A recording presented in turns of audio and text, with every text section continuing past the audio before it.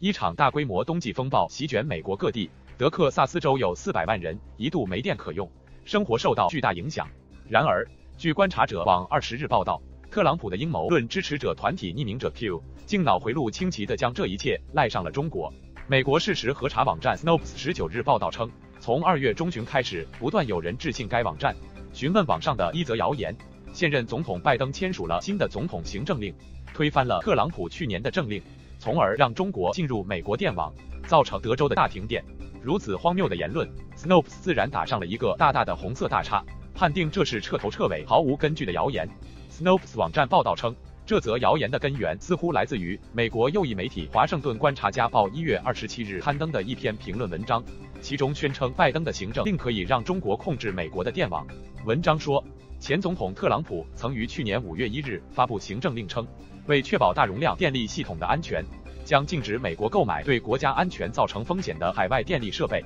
去年十二月十七日，美国能源部长丹布鲁耶特又根据这一行政令签署禁令，禁止向美国关键国防设施供电的电力公司从中国进口特定的电力系统产品，声称此举旨在保护美国安全，免受网络等形式的攻击。中方坚决反对美方在拿不出任何真凭实据的情况下，以所谓的国家安全为借口。无端的污蔑、抹黑中国，公然打压中国企业。美方有关做法严重违背其一贯标榜的市场竞争原则和国际贸易规则，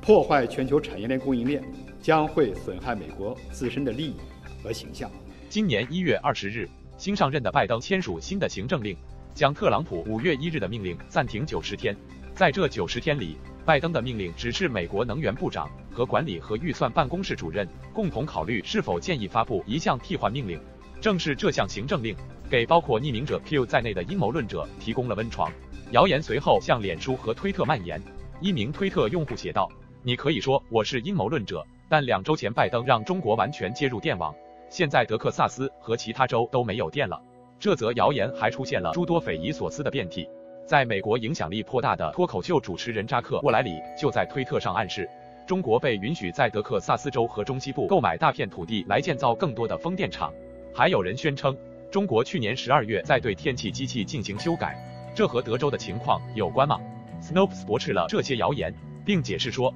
德州电网由德州电力可靠性委员会独立运营，其政策方向主要由州政府官员而非联邦政府主导。德州电网的故障并非由于中国或任何其他外部实体的干扰，它失败的原因是德州经历往常没有的低温时电力需求激增，超出了电网的准备能力。除了电力系统本身的问题外，官员的渎职也加剧了德州面临的窘境。二月十六日，科罗拉多市市长蒂姆·博伊德在脸书上竟称：“政府不欠你们的，不要再哭兮兮的寻求施舍了。只有强者才能生存，弱者才会死亡。”这番言论自然引发了强烈批评。共和党籍联邦参议员泰德·克鲁兹也于近期拖家带口飞往墨西哥度假，受到舆论痛批后，他于十八日返回德州。因此，推特上还出现了另一些反思的论调：倘若类似的事件发生在中国，那么二十四小时内一定会有来自全国各地的大量援助赶到。美国东亚问题分析专家汤姆·福奥迪在推特上讽刺西方媒体说：“如果现在发生在德克萨斯州的事情，